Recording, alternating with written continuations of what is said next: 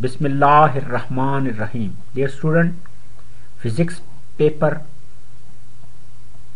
जो कि एक स्टूडेंट ने शेयर किया है, सात एक दो हज़ार बाईस।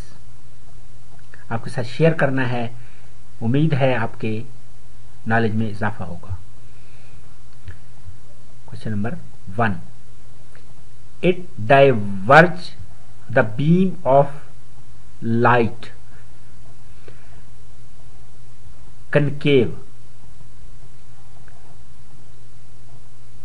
concave mirror ये इसको आप यूजलेस समझें। समझने के लिए इसको यूजलेस और जो कन्वेक्स है, ये यूजफुल है। ये काम की चीज़ है कन्वेक्स यानी कन्विंस कर लेता है ये। ये कन्वेक्स लेंस इससे आप मिक्स होने से बचने के लिए ये कहें कि कन्वेक्स करता है।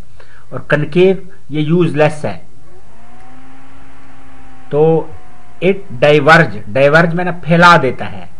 द बीम ऑफ़ लाइट जबकि converge it converge the beam of light ये समेटता है, एक नुक्ते पे मरकूज करता है। ये मरकूज करता है कन्वर्ज कन्वर्ज मरकूज करना, एक नुक्ते पे ले आना। जबकि जो डाइवर्जेंट है बीम ऑफ़ लाइट ये फैलाता है। एक नुक्ते से दूर हटाता है। तो इसमें समझने के लिए कनकेव केव गार केव गार अगर आपके जहन में होगा तो इसको आप यूजलेस समझें। और जो कन्वेक्स है, ये काम की चीज़ है। ये अगर आपके जहन में आइडिया आ गया तो आपको समझने में आसानी हो जाएगी।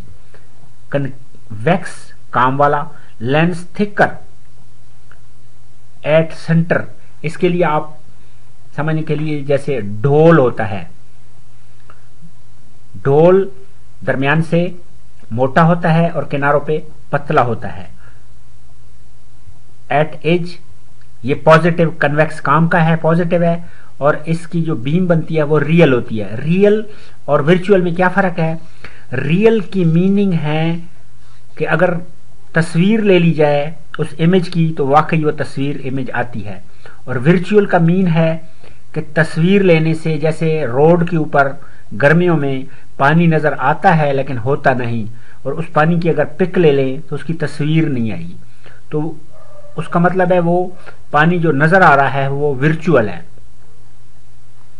तो ये अगर छोटे छोटे आप रखेंगे तो आप मिक्स नहीं होंगे।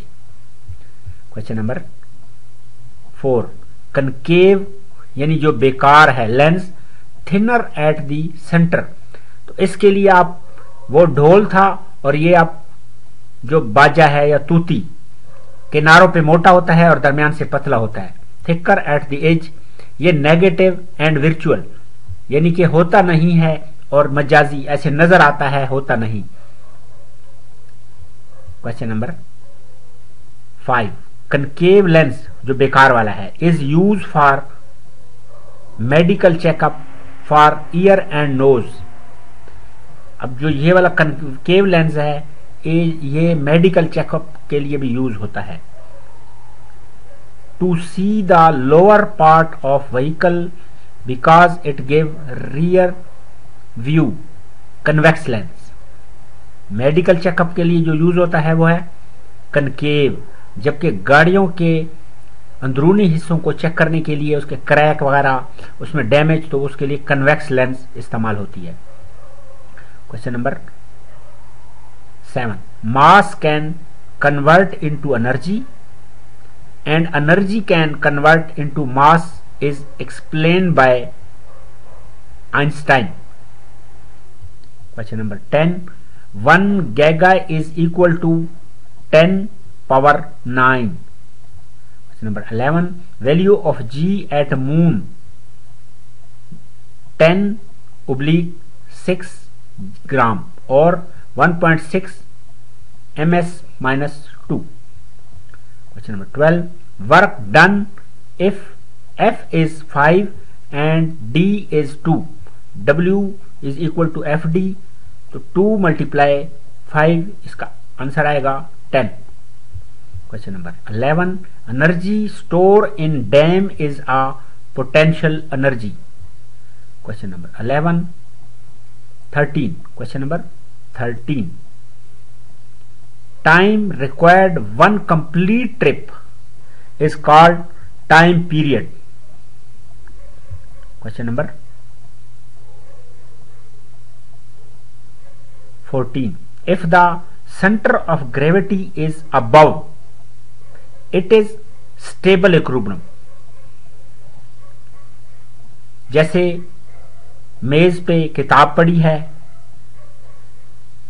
तो ये स्टेबल है। इसी तरह पेंसिल अगर मेज पे खड़ी कर ली जाए तो ये अनस्टेबल है। और if the centre of gravity is below it is called neutral equilibrium